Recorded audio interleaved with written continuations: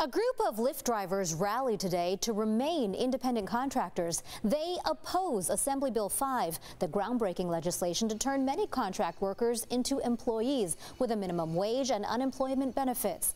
AB 5 is headed to the Senate floor this week and has the support of Governor Newsom, but some drivers are trying to put the brakes on the bill.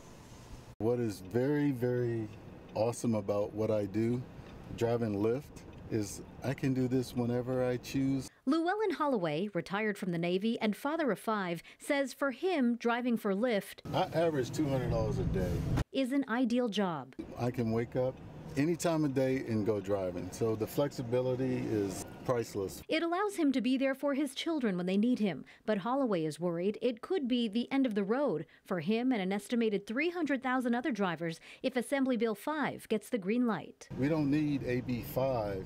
Holloway joined other rideshare drivers at news conferences held here in San Diego and across the state Monday, hoping to steer state legislators in the right direction. I think our lawmakers think that what they're doing with AB 5 is actually to protect us. But the truth is, it isn't what we want. Part of the I'm Independent coalition, they're driving a campaign to oppose the bill. I urge them to please listen to real drivers when we say that we want to remain independent contractors.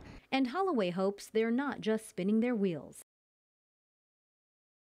Lyft and Uber are proposing their own version of a bill which would give drivers a guaranteed minimum income and provide some health benefits while allowing drivers to remain independent contractors.